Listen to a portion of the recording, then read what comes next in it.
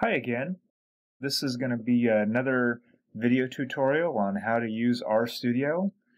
Last time we looked at uh, how to open RStudio and what the window panes look like, but we're going to uh, start again by doing that. So over in my launch bar, I see the uh, RStudio icon, and I'm going to go ahead and open it.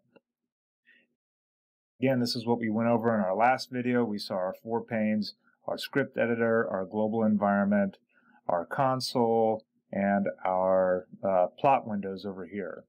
And in this uh, video segment, what we're going to work on today uh, and what we're going to teach you today is how to use RStudio as a calculator. And so most of us uh, have used calculators. That's very familiar to us. Uh, this by far is not the only thing RStudio can do, uh, but we're going to start with that because it's very familiar. Now what we're going to do is go ahead and open a a script or a piece of code that's going to show up here in our editor right here. So I'm going to go ahead and do that. I'm going to use my little open function here.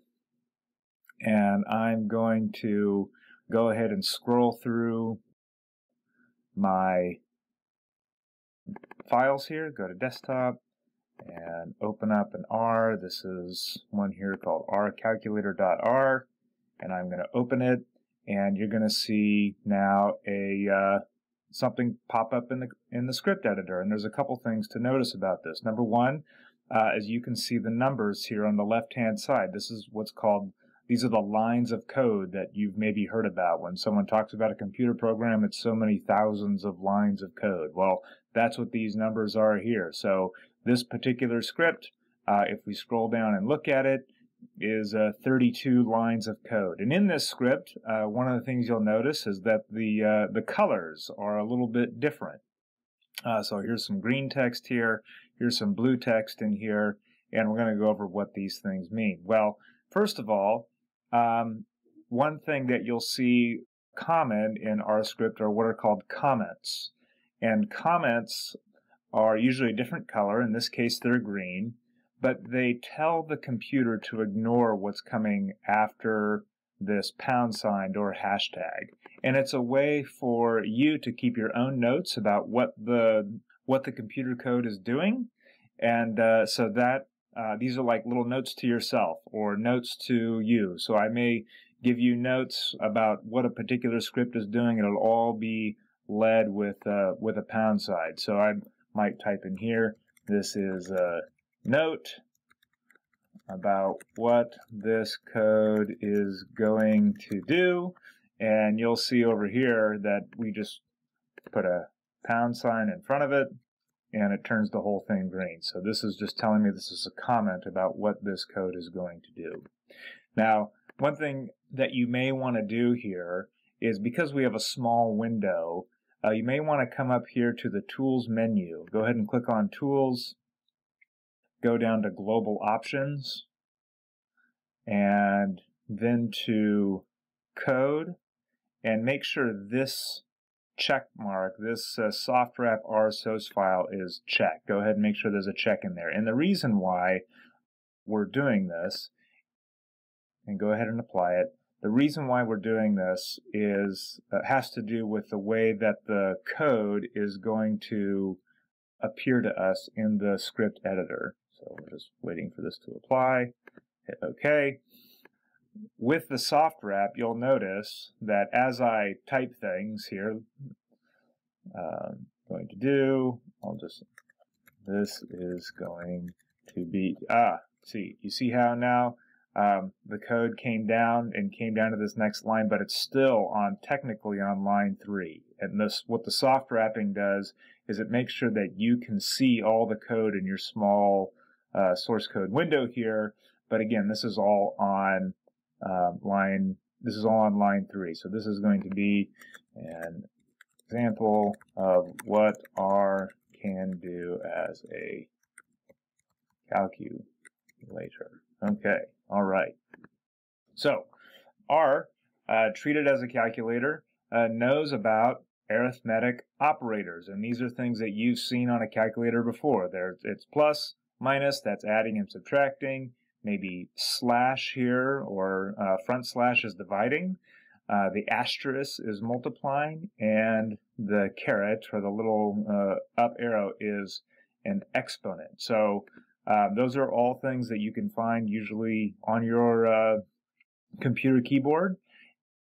We should be able to see what's going on here. So that our first nine lines of code here involve just some empty lines of code and some notes to ourselves. But when we get to line 11, now the code is actually going to do something. And the trick is, is that how do we take the information from up here and now put it down here in our console? So one way to do it is to go ahead and just by hand copy what's on line 11. So I can come down here and I can just type 3 plus 2 and hit return. And I'll see I'll get the answer 5 here, which is good because I understand that 3 plus 2 should equal 5. But that's one way to do it. I can just recreate the code here. Or what I can do is highlight what's in the code with my cursor and then come over here to the run section and go ahead and hit run and it will take whatever I've highlighted here, put it down in the console here next to this caret and it's given me the answer 5. And, and you'll notice that the active part of the console here is this little greater than sign. This is where we're going to insert our code. So we just put in the code 3 plus 2, and it gave us the answer 5. We can try that again with 3 minus 2, hit run, and we're going to get the answer 1. Or 3 divided by 2, hit run, we get 1.5 or 1.5. Or 3 times 2, Run that, we get 6, and 3 raised to the power of 2, or 3 squared. We run that, and we get 9. That's great. And we can also highlight multiple sections of code. If I want to run line 11 through 15 all again, I hit run, and I get all my answers. All right, so R is a calculator. Now, so, so far so good. But we can not only do sort of arithmetic operators, but also logical operators. And these ones are less common on your calculator or your iPhone, but they still exist. And here's what those are. Uh, so this is the less than sign. This is the less than or equal to sign. This is the greater than sign. This is the greater than or equal to sign. This is exactly equal sign. It's a double equal sign and a not equal sign. And so there's another way that we can think about this, which is uh, this line here, line 27, asks the question, is 3 less than 2? And so if I highlight that and I run that, my answer is false. 3 is not less than 2. And so it's still an operator, but it's a logical operator. Instead of giving me a numeric number, like uh, like the answer to 3 squared, it's giving me a true false answer of whether or not 3 is uh, is greater than 2. Here's 3 is 3 less than or equal to 2. That's what this uh, less than equal sign next to it. And if you run that, that's also false. Now we can ask, is 3 greater than 2? The answer is that's true, so there's a true there. Is 3 greater than or equal to 2? That's also true. And is 3 exactly equal to 2? And the answer is that's also false. Is 3 not equal to 2? That's what this exclamation point, this is the is it not equal? And you run that again, and that is also true. So we've gone through our code now, and all we've done has been on the left-hand side here looking at our script, at our console, and treating R as a calculator. So you can come in here and try your own things, 7 times 9 plus 4 and get whatever answer you want.